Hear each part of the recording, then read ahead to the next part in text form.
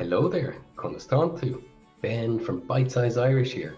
The west of Ireland, it's famous for its beautiful mountains. So I thought it'd be nice to learn how to say the word mountain and a couple of other associated words in Irish. So, the word for mountain in Irish is sliabh. Sliabh. And again, sliabh. I'm from Munster, and that's Munster pronunciation of the word. That's fine in Connacht too, but in Ulster, my Ulster pronunciation is patchy enough. They would say it's something like Schliau. Schliau.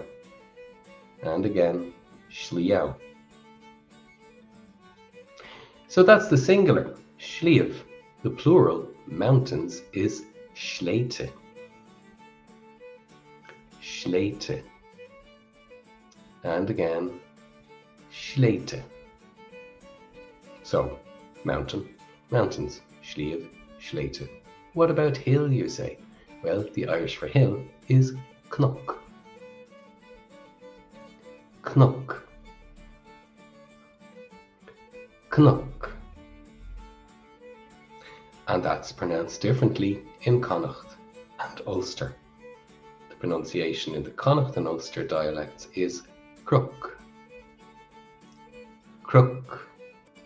And again, crook. The plural of knock, hill to hills, is knick. Knick. Knick.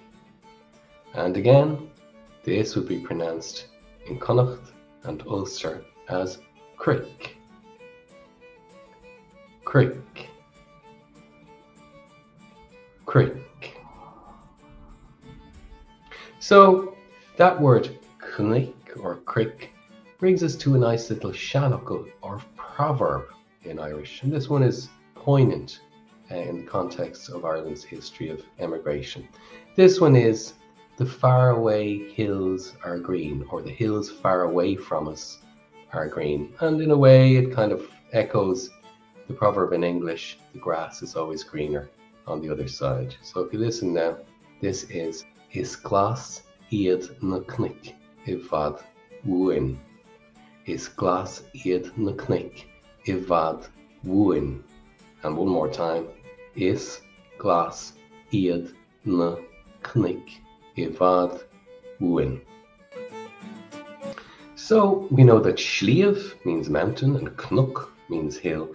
But when we look at how these terms are applied uh, in the names of actual hills and mountains, we'll see that it can be somewhat arbitrary. So in West Kerry, where I'm from, we have Knock Brennan.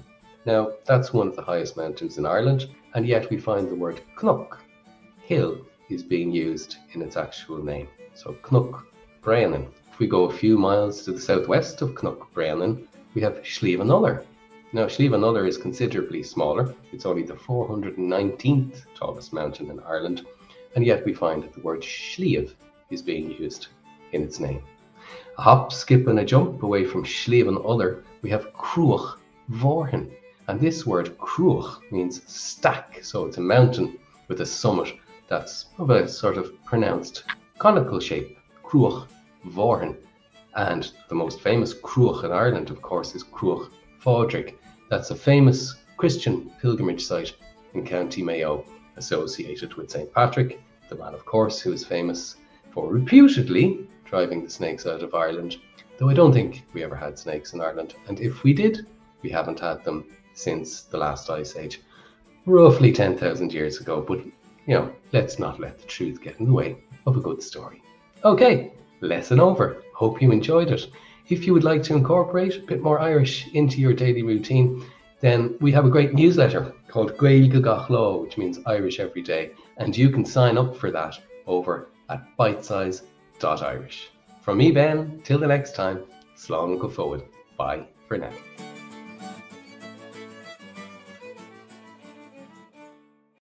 Go to bitesize.irish and sign up for our Gaeilge Gach Lá newsletter.